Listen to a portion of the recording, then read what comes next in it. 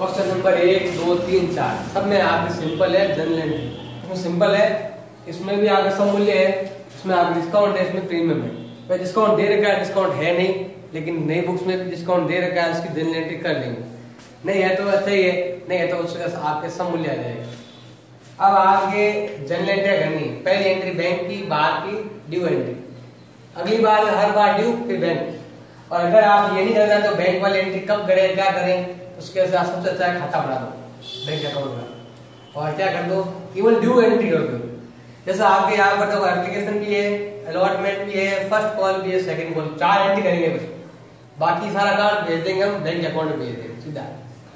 यहाँ देखो आपको ऑथर कैपिटल दे रखी है। ऑथर कैपिटल की कभी भी एंट्री नहीं होती। और ना इसकी जोड़ होती है बैलेंस शीट में आएगा लिखेंगे वापस। सबसे पहले एंट्री करेंगे एप्लीकेशन सब ड्यू एंट्री लिखो। पैसा आने की एंट्री करो मत। तो सिंपल क्या एंट्री देखो सब पहले सबसे पहले एंट्री एंट्री होगी? Equity share application account D R to equity share capital कितना है? दस हज़ार शेयर इशू किए थे हमने तीन रुपए के हिसाब से। तो कितना होता है? तीस हज़ार एप्लीकेशन पर है। फिर करेंगे अलॉटमेंट तो एंट्री क्या हो जाएगी? Equity share allotment account D R to equity share capital ये कितना हो जाएगा आपके? दस हज़ार दस हज़ार। फिर है आपके फ़र्स्ट कॉल की एंट्री फ़र्स्ट कॉल की एंट्री क्या हो जाएगी आपके? Equity share first call account D R to equity share capital ये हो जाएगा कितना आपके बीस हज़ार बीस हज़ार। इसके साथ ज़रूर बढ़ो डेट पर्टिकुलर क्या कहते हैं फिर? L F D R C R amount का। फिर सेकंड कॉल है तो equity share second call account D R to equity share क्या कर देंगे हम यहाँ पर? कैपिटल कितना दे रहे हो तो दस हज़ार शेयर दो रुपए के हिसाब से इशू किए गए कितना हो जाएँगे? बीस हज़ार बीस हज़ार. अब जो हमने बैंक नहीं लिखा, उसके लिए खाता बना दो। अकाउंट बना लो बैंक अकाउंट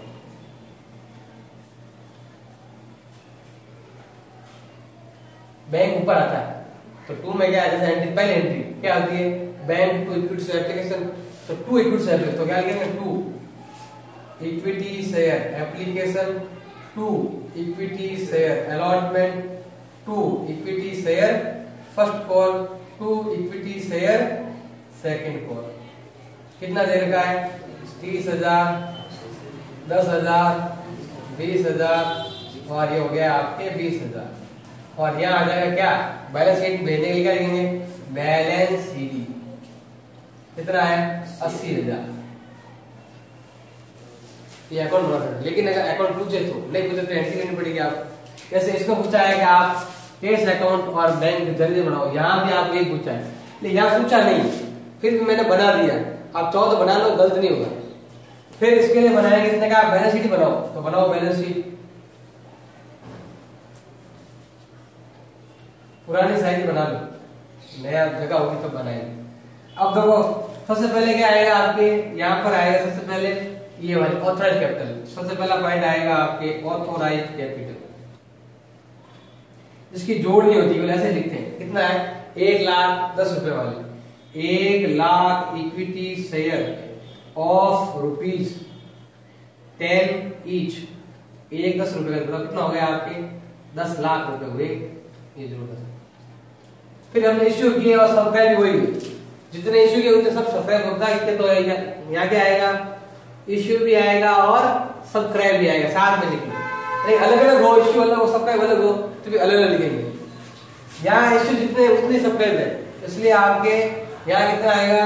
दस हज़ार शेयर हमने ऑफ़ रुपीज़ कितने रुपए के हिसाब से? आठ रुपए के हिसाब से कितना होता है? आपके अस्सी हज़ार।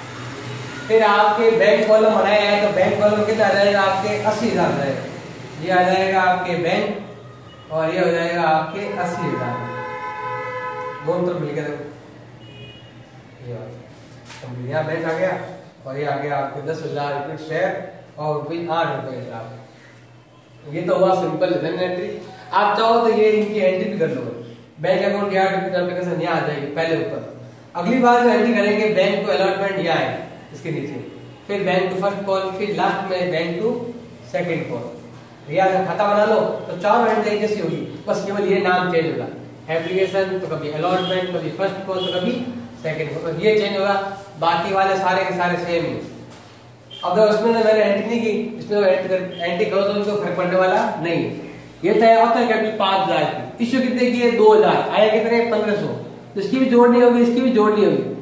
जब जितना इश्यू करते हैं, उससे कम आते हैं तो पूरे सवाल को ये तो भूल जाओ आप, कि पूरा सवाल आपको इसी पर ही करना कंप्लीट बड़े से बड़ा क्वेश्चन छोटा हो, इसी पर करना इसने कहा, सब राशि आपके एप्लीकेशन पर ही मिल गई। तो दो एंट्री कर लो, पहले पैसा आने की। Bank account D R to equity share application कितना है? पंद्रह सौ शेयर सौ रुपए वाले। कितना होता है? एक लाख पचास हज़ार, एक लाख पचास हज़ार। शेयर का मूल्य चेंज नहीं, वही है, लिखा हुआ। अब ड्यू एंट्री करो। Equity share application account D R to equity share capital एक लाख पचास हज़ार, एक लाख पचास हज़ार। ये हो गया आपका एंट्री पूरे पैसे एक में मिल अब बनाएँगे हम क्या? बैलेंस शीट अलॉटमेंट है ही नहीं अंदर। तो बनाने की ज़रूरत क्यों नहीं है? अब बनाएँगे balance sheet number one balance क्या आता है? ऑथराइज कैपिटल यह हो जाएगा आपके ऑथराइज कैपिटल